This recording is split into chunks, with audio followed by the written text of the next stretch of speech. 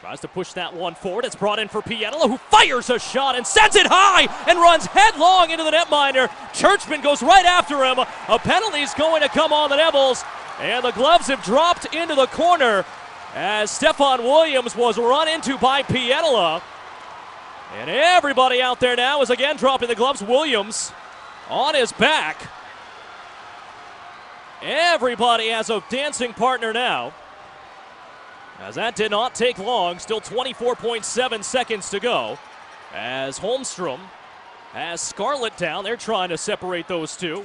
Pelley had to be pulled away from Combs. Pietila still tangled up with Czuczman. Pelley has gone to the box. And trying to separate Holmstrom and Scarlett, who are on the ice. And Holmstrom still all over Scarlett. Everybody else is kind of stopped except for Pietila and Czuczman, who are still spinning their way around. And it looks like that will come to a close. Pietila took the shot in, sent it high, and then went crashing into the netminder. And what the Devils really have to worry about now, aside from staying healthy, is the possibility of suspensions on both sides, by the way. Both sides are going to have to worry about possible suspension.